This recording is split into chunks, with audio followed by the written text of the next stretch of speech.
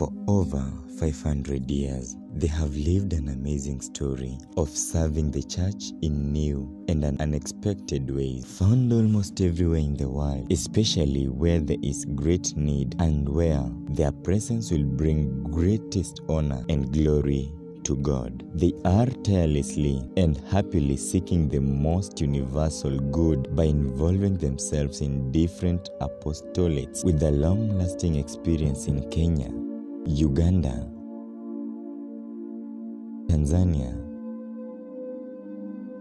Ethiopia, Northern Sudan, and Southern Sudan. These are the Jesuits Eastern African Community presenting to you moments from the altar.